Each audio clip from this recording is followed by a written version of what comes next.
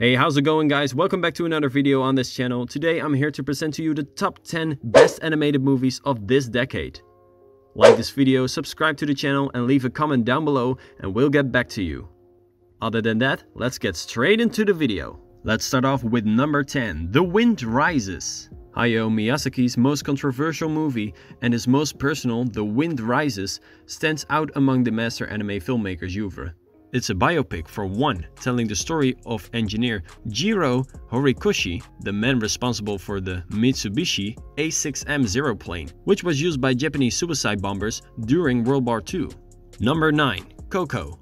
Pixar can't resist a high concept or heart-stirring tug, and Coco is the perfect synthesis of that, wrapped up in a visually dazzling, culturally sensitive story. One of Pixar's most beautiful films ever. Lee Unkrich and Adrian Molina's sumptuous coming-of-age film tackled the concept of death and the afterlife. Coco follows the story of an aspiring musician, Miguel Anthony Gonzalez, who steals his idol Ernesto de la Cruz's guitar on the Day of the Dead, and finds himself trapped in the vibrant of a colorful land of the dead.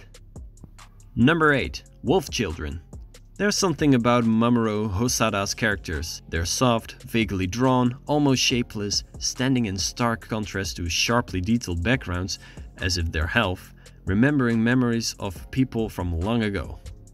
But in contrast to his style, Hosoda's film feel urgently alive. Hosoda's gentle 2012 film Wolf Children is the purest example of that.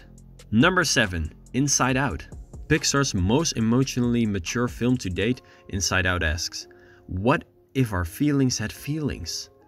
Director Pete Docter's answer is a little more complicated and a little more melancholic than you might expect, taking us to a cerebral adventure through a happy, go-lucky little girl's mind as she deals with a life-changing move to San Francisco.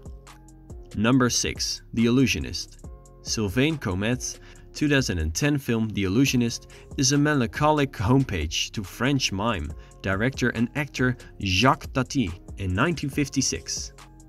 Based on an unproduced script by the deceased filmmaker. As tender as Chomet's past, films were bizarre and farcical. The Illusionist imagines a world where reality and poetry intertwine.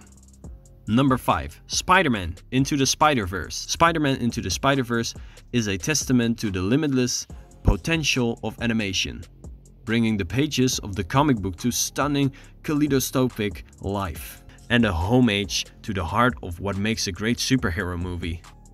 Anyone can wear the mask, but not everyone could make this wild, innovative, dazzling animated film as well as director Peter Ramsey, Robert Persichetti Jr. and Rodney Rothman.